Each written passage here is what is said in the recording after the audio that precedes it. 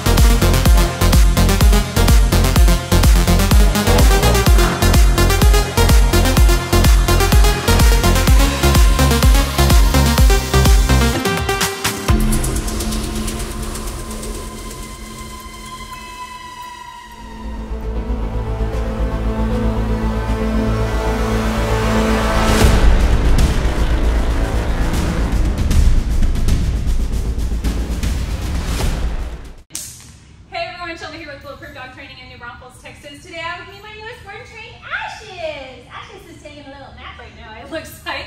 Her mom and dad just dropped her off today. She is a three-year-old pit mix. Um, they dropped her off because she needs some manners. She doesn't like to listen to them when they tell her to do or not do something.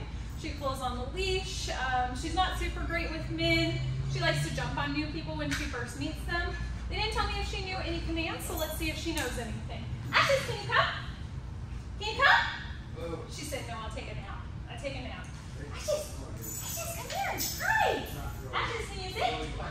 Oh, that's pretty good. You don't look at me, though. Can you down? Can you down? No? Okay, do you want to go for a walk? Let's go for a walk. Oh, no, no, this way, silly. Come on.